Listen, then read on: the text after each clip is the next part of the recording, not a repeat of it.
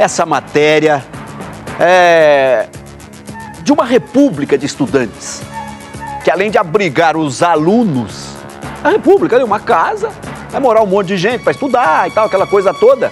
Só que além dos alunos, também tinha uma plantação de maconha, com plantas viçosas, aquela coisa da agricultura familiar, vamos dizer assim. E uma tecnologia de produção, é, tudo tecnológico o negócio, lá você vai ver. A Polícia Civil quer prender o responsável ainda em flagrante. O nome do cidadão, da pessoa responsável por essa plantação não foi divulgado, mas ele é biólogo. Este é um pé de maconha que está plantado em um vaso. A droga foi localizada dentro de uma residência na rua Via Láctea, aqui no Jardim do Sol. Só que este não foi o único vaso que os policiais civis localizaram nessa residência, que é uma república. Dentro de um banheiro no fundo da casa, também tem mais quatro pés de maconha.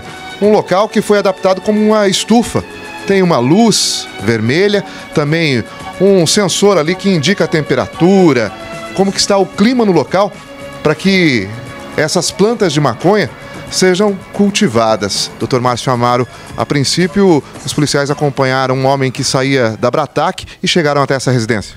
É, a diligência inicialmente envolvendo possivelmente uso de entorpecente, desconfiaram da conduta é, do rapaz, o seguiram até aqui e, para surpresa, localizaram nos fundos da casa, dentro de um, de um banheiro, um laboratório improvisado.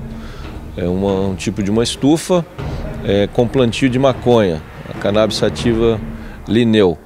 É, a informação dada por esse jovem é que ele seria dependente de crack e que o responsável pelo plantio e manutenção é, dessa droga aqui no local seria um biólogo que também aqui reside.